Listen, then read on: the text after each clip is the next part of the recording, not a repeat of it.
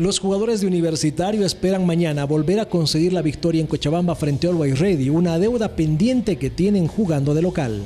Eso es lo que nos está faltando. Eh, creo que sumar aquí de locales, eh, pero bueno, tenemos tres, cuatro partidos acá que no nos movemos más y tenemos que tratar de aprovecharlos. Creo que eso nos, va a ayudar mucho en el, promedio y en el campeonato local también de, largo y de aquí para adelante vamos a tratar de revertir esto aquí en casa. Tras la llegada de Pablo Godoy, los jugadores consideran de que la idea de juego no ha cambiado y que simplemente les falta fortuna a momento de definir. No, creo que no, creo que jugamos el mismo esquema, eh, somos los mismos jugadores, no se cambió absolutamente nada, como te digo, solamente la actitud cambió un poco.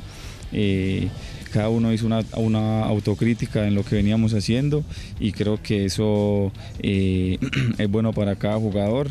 Si bien había la intención de Universitario por adelantar el partido para las 3 de la tarde, se confirma que el encuentro entre Universitario y Always Ready se lo jugará a las 19 horas.